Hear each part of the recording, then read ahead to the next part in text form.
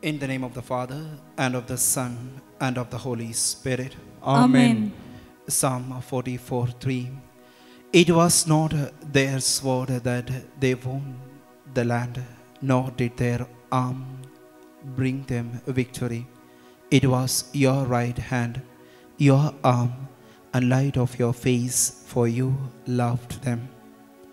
Dear youngsters and children, today we are to reflect upon Psalm 44, verse 3. Let us thank our Lord Jesus for the wonderful gifts which He has given to each one of us. Let us thank Him for the blessings which He has given every one of us, the graces which He has showered upon us, the love which we have received, our friends, our family, our job, the education which we all are having today. Today, he, here we are to welcome him into our midst, to find Jesus in this sacrament, and to be convinced of this sacrament that he is there to listen to each one of us. Let us talk to him. Let us interact with him. He is there amidst us. Let us now kneel down and welcome the Lord. Psalm chapter 54, verse 4. But surely God is my helper. The Lord is the upholder of our life. This morning, let us praise and let us thank God. Let us worship Him. Let us worship the Father. Let us worship the Son. Let us worship the Holy Spirit. Let us worship Him in spirit and in truth, surrendering our lives before the Lord, our difficulties, our irritations to Him. Let us surrender. Let us worship the Father, Son, and the Holy Spirit and say to Him, Father, we love you. We worship and we adore you. Jesus, we love you. We worship and we adore you. Spirit, we love you. We worship and we adore you. Father,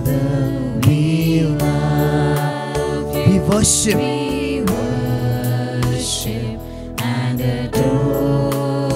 Once again adore the Father. We love you. We worship and adore you. Glorify thy name. Glorify thy name in all the earth. Glorify the name of the Father. Glorify thy name.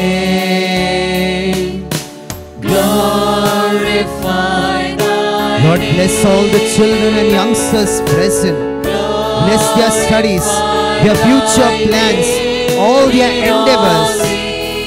Bless whatever responsibilities that they have been entrusted. Bless them abundantly, Lord. Remove whatever obstacles that they are facing in their lives. Oh Lord, we come before you. Have mercy on each of their lives. Lord, have mercy.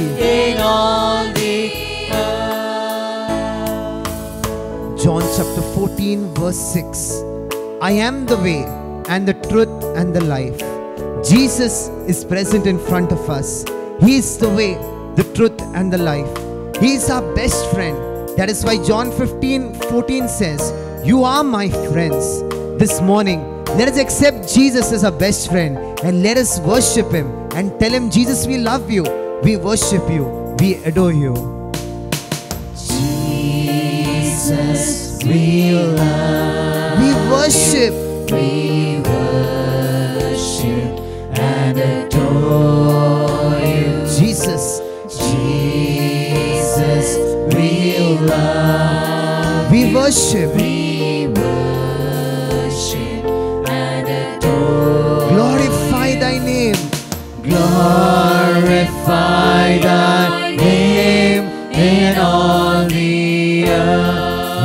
glorify your name this morning.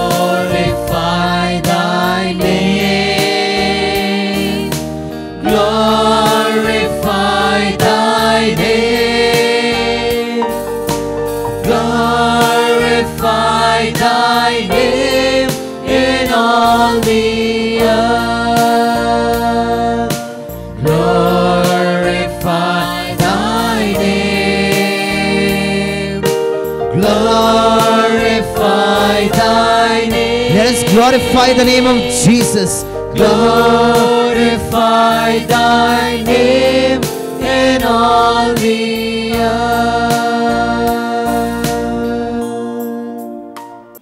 My dear young brothers and sisters and my little children, yes, it was not by their sword that they won, but it was because of our Lord's right hand that we were all chosen, we were all elected.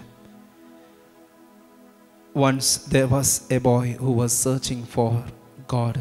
In fact, to buy God, he went around with 50 rupees. He went to the shop and asked for God. The shopkeepers fooled him and sent him away. He climbed different shops, and at the end, there was a rich man who was having a shop, and he asked this particular child, My dear little child, what do you want? He said, I need God. I need to buy God. So the shopkeeper asked, Why do you need God? He said, I don't have my father with me. When I was three year old, he died. And now my uncle, who is taking care of me, is hospitalized. And the doctor said, If you need him to be saved, you need God. So that I come out, I have come out to buy God, knowing the innocence and perseverance of the child. The shopkeeper said, Yes, I have God with me. He gave little honey in a small bottle and sent the child back. Child took that particular honey, thinking that it is God, went to the hospital and gave. Of course, the uncle recovered, and then the bills were all paid. So the uncle wanted to find out what is the reason they didn't want to pay the bill. The doctor said there was a person who came and paid the bill, and the uncle found out that was the same shopkeeper who gave the bill, who paid the bill for all of them. So he went and asked, Why did you pay the bill for me? He said, It is just because of that child's innocence and perseverance that I have paid the bill.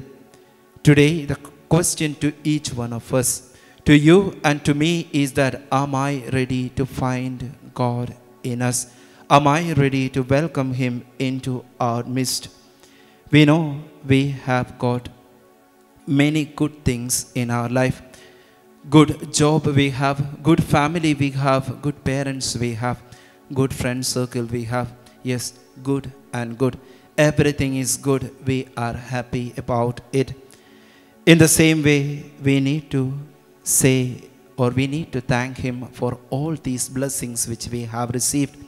It is a human tendency to say that it is of my hard work. It is of my parents' hard work that I am having all these enjoyment, all these luxuries of my life. It is just because of my intelligence that I own all these things.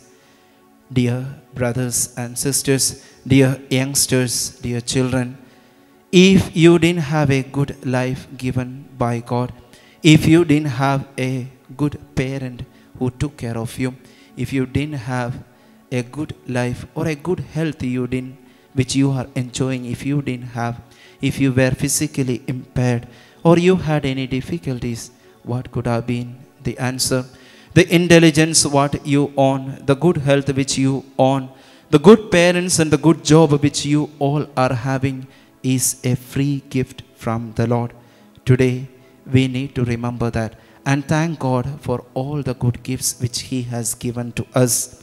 Remember the gifts, the grace, and the blessings which we have received from Him. Still, we complain. I don't have an answer for my problems. I don't find meaning for my life.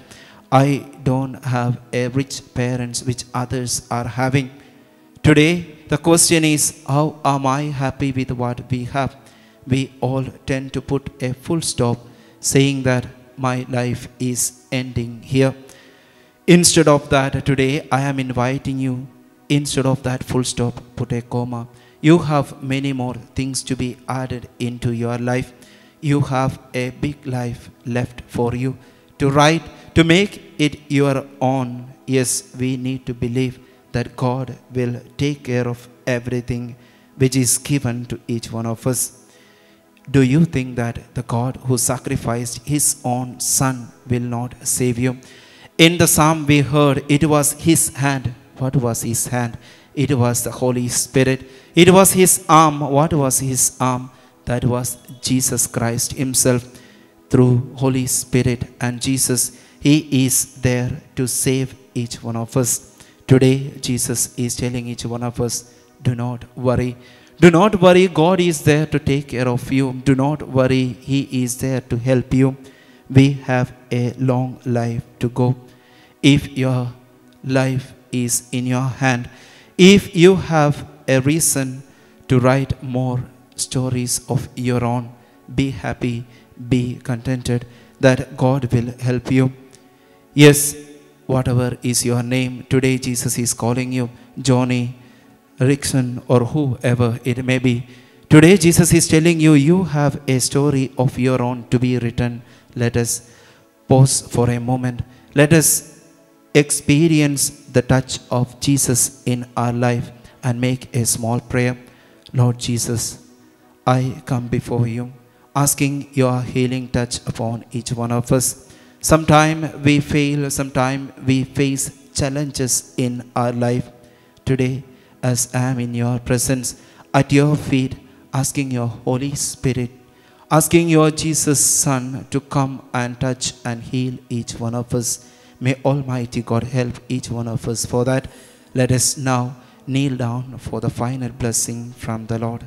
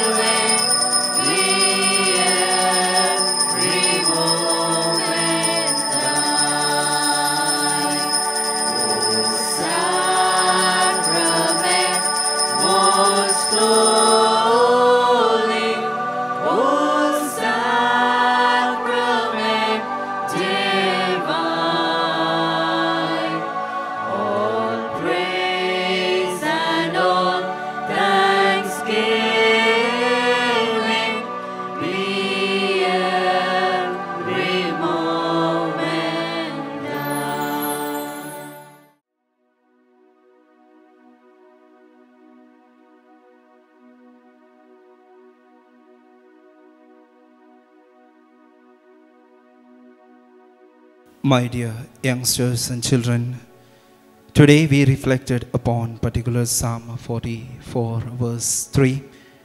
Today homework for you is to by heart this particular verse. It was not by their sword that they won the land, nor did their arm bring them victory. It was your right hand, your arm and light of your face, for he loved them a small prayer for you to make. If you find anybody facing difficulties, even in our social media, televisions, mobiles, you see many people facing problems, make a small little prayer whenever you see someone struggling in life. And may Almighty God help each one of us for that. Amen.